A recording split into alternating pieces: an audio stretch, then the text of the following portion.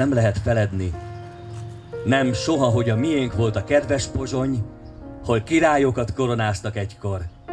És a legnagyobb magyar hirdette hévvel, nem volt, de lesz még egyszer Magyarország. És nem lehet feledni, nem, soha, hogy a miénk volt legszebb koszorúja Európának a Kárpátok éke, és miénk volt a legszebb kék szalag, az Adriának gyöngyös pártadísze. A himnusz után Juhász Gyula szavait tolmácsolták a Nemzeti Összetartozás napi megemlékezésen Bátaszéken. A magyar történelem egyik legtragikusabb eseményének 102. évfordulójára emlékeztek a jelenlévők.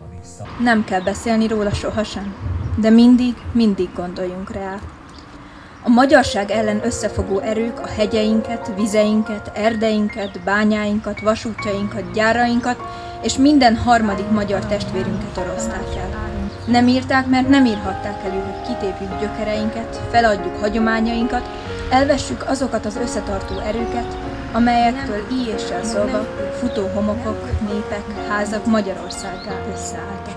Amikor néhány évvel ezelőtt elkészítettük ezt az emlékművet magánszemélyek felajánlásából, akkor azt gondoltam, hogy fontos, hogy a város területén is legyen egy ilyen emlékmű, hiszen Bátaszék történelmében nagyon-nagyon szomorú esemény, hiszen Trianon után még egy évvel Bátaszék nem Magyarországhoz, hanem a jugoszláv, illetve bocsánat, a szerb királysághoz tartozott.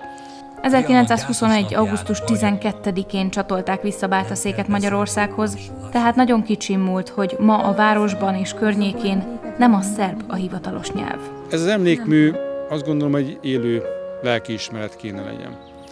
Ide ki kéne jönni ezen a napon pedagógusoknak, fiataloknak, és itt kéne szembesíteni mai nap nemzedékét arról, hogy mi is történt 102 évvel ezelőtt hogy hogyan lettünk Európa meghatározó nemzetéből, mind földrajzi, mind gazdasági, mind lélekszám tekintetében egy törpeállam. És miért történetet tesz meg velünk? Azt gondolom, ezt még ízlelnünk kell, ezt a gondolatot, hogy miért történetet meg velünk, és talán a mai korszakra utalva nekünk azért ebből nagyon sokat kellene tanulni. 102 évvel történelmünk egyik legszomorúbb napja után, itt 2022-ben nehéz Trianonról beszélni. A megemlékező műsorban is azt idézték fel Juhász Gyulának egy igen fontos mondatát, hogy beszélni nem biztos, hogy kell de emlékezni mindig. És valahogy úgy érzem, hogy 102 év után az emlékezés is kezd halványulni.